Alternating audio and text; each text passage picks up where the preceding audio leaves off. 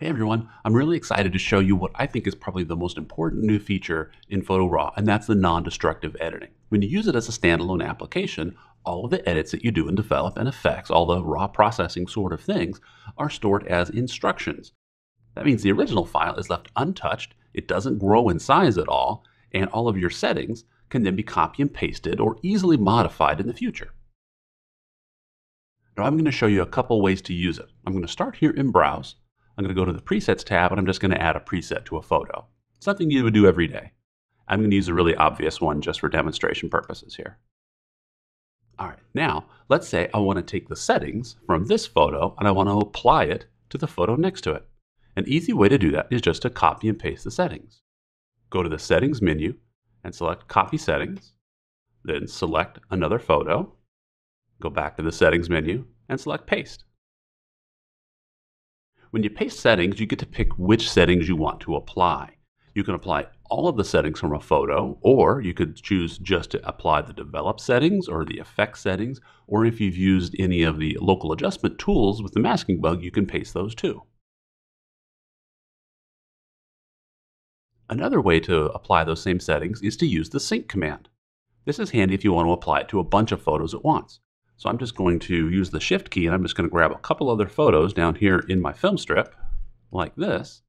And now I'll use the sync button right here and I'll apply those same settings to all. And when you synchronize, it uses all the settings so they get exactly the same adjustments applied, just like that. Now you can remove settings if you need to as well. Go to the settings menu, you can reset all of the settings, or you can just reset the settings for a specific module or for the retouching tools. I'm going to use the Reset All option, and it'll clear out all the settings for those photos instantly. And these same features work the same inside of Develop and Effects. Let's go to Effects, and I'll do a little bit of work.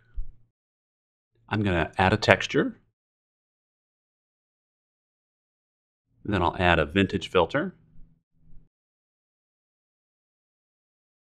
And then I'll add a vignette. Then if I want to use those same settings, the same stack of filters that I've created here inside of Effects, I can do the same thing. Just select the photos that I want to apply it to and use that sync command. All of those settings are stored locally on your computer in the PhotoRAW database. If you work on multiple computers, you can enable what we call sidecar files. If you go to your Settings menu, click on the Files tab, make sure you have Save ON1 sidecar files for non-destructive edits and metadata turned on. That'll create a small sidecar file that lives next to each one of your photos that you edit. Then when you take those photos to another computer, let's say you keep your photos on an external hard drive and it goes from computer A to computer B, or if you store your photos in a cloud syncing service like Google Drive or Dropbox, or you keep your photos on a network drive or a network area storage device, then you'll see those same edits from every computer that views those photos. It makes it really seamless to switch computers, or if you work in an office and multiple photographers need to work on the same photos. And the great part is, there's no catalog file that you have to move around and no paths that you have to sync up whenever you change where the photos live. It just works. I think when you take all of the cool things you can do in Develop and Effects and you combine it with the power of this non-destructive editing, it's going to change workflows for people. They'll be able to do things they've never been able to do in a much faster way. We're super excited about it, and we hope you guys love it. Thanks for watching.